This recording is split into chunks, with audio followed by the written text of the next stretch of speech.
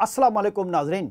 मैं हूँ जीएम जमाली और आप देख रहे हैं डिजिटल के सबसे बड़े चैनल न्यूज़ पाकिस्तान का प्रोग्राम ए टू जी नाजरीन, मुल्क के नए chief justice justice Qazi Faez Isa ने अपनी जिम्मेदारियाँ संभालने के बाद अब तक अहम मुकदमात की समात की है, जबकि उन्होंने अपना अहदा संभालते ही अगले रोज़ Supreme Court practice and procedure bill के हवाले से अहम तरीन मुकदमे की समात की थी और इसके लिए उन्होंने फुल कोर्ट बेंच तश्कील दिया था, जबकि इस मुकदमे की समात की बर रास्त कवरेज भी तमाम टीवी चैनलों पर की गई थी।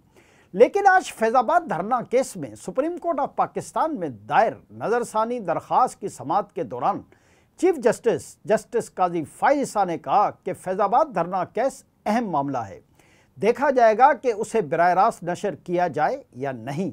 इस हवाले से चीफ जस्टिस के रिमार्क्स को बहुत ज़्यादा अहम करार दिया जा रहा है। Chief justice of Pakistan justice काजी फाइसा की सरबराही में तीन रुकनी बेंच ने समात की। जस्टिस अतर मिनुल्ला और जस्टिस अमीनुद्दीन खान बेंच का हिस्सा हैं। अटॉर्नी जनरल ने फैज़ाबाद धरना केस का फैसला पढ़कर सुनाया। चीफ जस्टिस पाकिस्तान ने कहा कि इस धरने के बाद कई और ऐसे ही वाक़ात सामने आए। अगर उस वक्त इस फैसले पर अमल होता तो बाद में संगीन वाक़ात न होते। हम फैसले में दी गई सत्रह हिदायत पर अमल से सही सिमत में चलेंगे। अल्लाह ने सूरह तोबा की आयत 19 में सच्चे लोगों का साथ देने का कहा है। आप लोगों ने फैसले को आज सच मान लिया। अब आपका इम्तहान है कि आप साथ भी तो दें। उन्होंने कहा कि देखना होगा कि लाइव ये केस नशर हो सकता है या नहीं। Chief justice of Pakistan justice Qazi Pfizer ने फैज़ाबाद धरने के फैसले पर अमल दरामद से मुतलक सवाल उठा दिए। चीफ जस्टिस पाकिस्तान ने कहा कि एक जज, जस्टिस मुशीर आलम, रिटायर हो गए हैं। इस मौके पर अटॉर्नी जनरल ने कहा कि वफाक इस केस में दिफा नहीं करना चाहता। चीफ जस्टिस ने अटॉर्नी जनरल से मुकालमा करते हुए कहा कि अब क्यों केस वापस लेना चाहते हैं? पहले तो कहा गया कि फैसले में गलतियाँ हैं। अब वापस लेने की वजूहत तो बताएँ।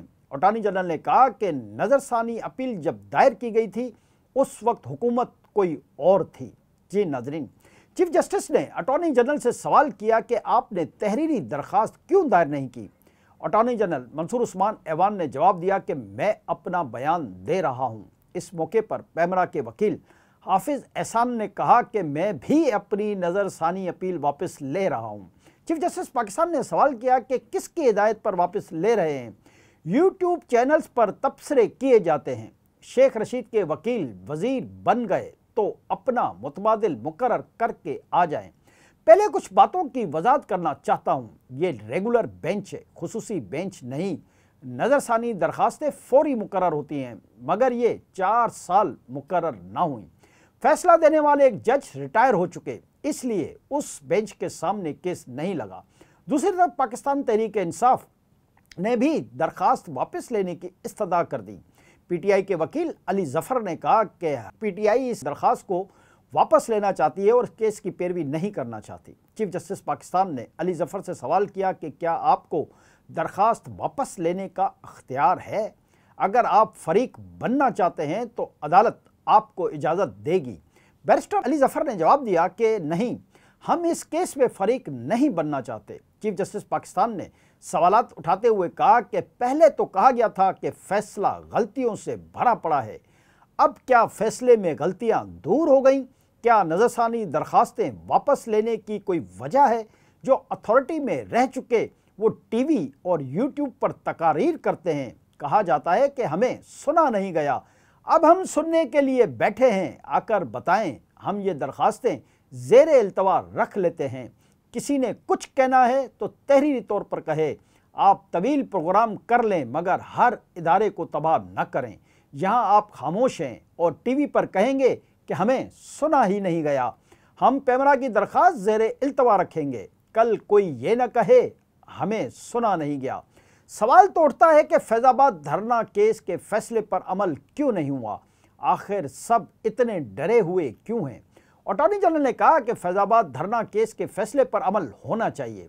जस्टिस अतर मिनुल्ला ने कहा कि फैज़ाबाद धरना केस लैंडमार्क जजमेंट है। केस के फैसले पर अमल होना चाहिए। जी नाजरीन, शेख रशीद की जानब से दरख्वास्त की पैरवी जारी रखने की इस्तः की गई। चीफ जस्टिस ने वकील से सवाल किया कि आपने नया वकील करना है या दलाइल देने हैं? हमने तो सिर्फ़ आईएसआई की रिपोर्ट पर कहा था कुछ सियासतदानों ने गैर जिम्मेदाराना बयान दिए। हमने किसी का नाम नहीं लिया। आपने खुद से अक्स कर लिया कि आपका ज़िक्र है। इदारों को तबाह न करें। अवामी इदारों के बारे में ऐसा ना करें। यह हुक्म नहीं, बल्कि दरख्वास्त है। अगर किसी ने कोई बात करनी है तो तहरीरी सूरत में करे। 2017 का मामला है। जहाँ से नज़रसानी आने की उम्मीद थी, वहाँ से तो नहीं आई। खादिम रिजवी काबिल तारीफ़ हैं कि उन्होंने गलती तस्लीम की थी, जिसके बारे में फ़ैसला था। उसने पूरे दिल से तस्लीम किया। गलतियाँ सबसे होती हैं। बड़ापन गलती तस्लीम करने में ही है। चीफ जस्टिस ने पीटीआई के वकील से मुकालमा करते हुए कहा कि मैं तीसरी मरतबा शरई उसूल के तहत पूछ रहा हूँ, क्या आप वाकई दरख्वास्त वापस लेना चाहते हैं? वकील अली जफ़र ने कहा कि मैं हिदायत की रोशनी में कह रहा हूँ, हम दिफा नहीं करना चाहते। चीफ जस्टिस जस्टिस काजी फायदी ने कहा कि आप अच्छी शहरत के वकील हैं। हमें आप पर यकीन है। इरफान कादिर साहब को नोटिस कर दिए हैं। इस मौके पर चीफ जस्टिस ने एजाजुल हक के वकील से सवाल किया कि आप कहना क्या चाह रहे हैं? आपने धरने की हिमायत नहीं की। क्या आप कह रहे हैं कि आईएसआई की रिपोर्ट दुरुस्त नहीं थी? कोई बयान हल्फी दें कि आपका मौकफ दुरुस्त है। अटॉर्नी जनरल साहब, आप समेत सब पर जुर्माना क्यों न किया जाए? अदालती वक्त ज़ाया किया गया। मुल्क को भी परेशान किए रखा। अब आप सब आकर कह रहे हैं कि दरखास्तें वापस लेनी चाहिए।